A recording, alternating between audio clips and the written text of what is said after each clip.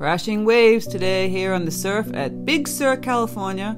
This is a weekly exclusive tutorial on my Patreon where I give you lots and long, in depth techniques on painting rocks and water. Here I'm using a credit card to scrape some like paint off to get that nice texture on rocks, and I'm showing how I paint this in with the paintbrush.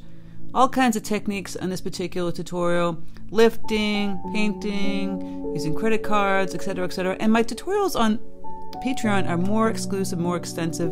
Um, you get a reference photo and a traceable. They're about almost 50 to an hour minute, an hour long, um, like I said. And it's where people support my free content here on YouTube. And I really appreciate it. Um, yeah, it's simple breakdown step by step. I know it looks intimidating, but really, once you break it down step by step, it's really doable, for, even for a beginner.